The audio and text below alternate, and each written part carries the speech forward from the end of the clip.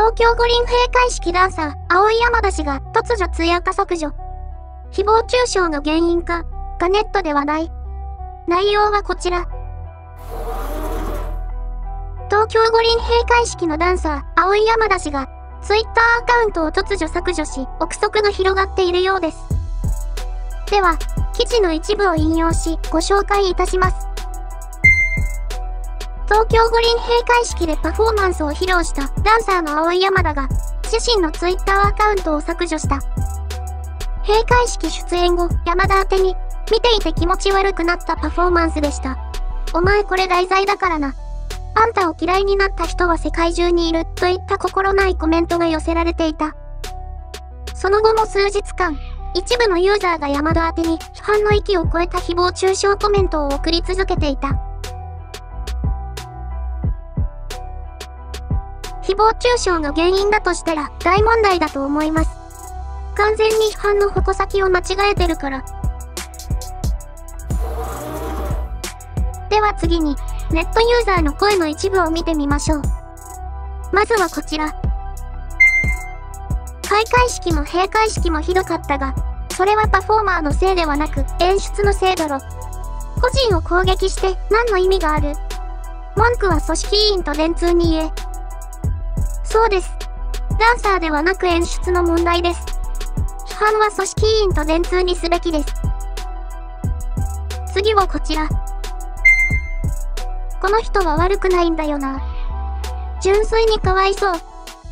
閉会式で流れた時、え、とは思ったけど、本人を批判するのは違うんじゃないの。万人に受け入れられるジャンルのダンスではなかったかもしれないけど、彼女には何の日もないのに、青い山田氏があまりにもかわいそうですよ。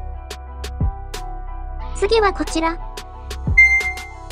上に指示出したり、演出考えてる人間がいて、そこに乗っ取って、この方は演じているってことがわからんのかな。SNS は今や自己表現のツールなので、このダンサーの方にとって大事な場所だったのではないだろうかと想像します。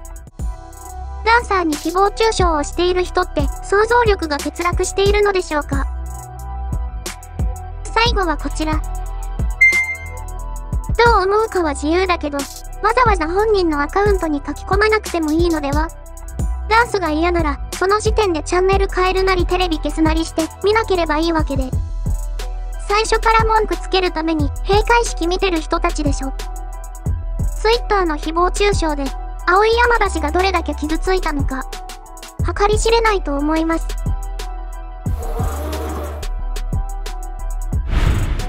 結論。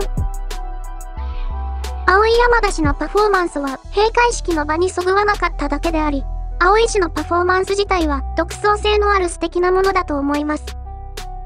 そもそもの問題は、閉会式の場に青井氏のダンスを起用するという演出を考えた組織委員と電通が問題なのです。なぜそれが理解できないのか、意味がわかりません。ご視聴いただき誠にありがとうございました。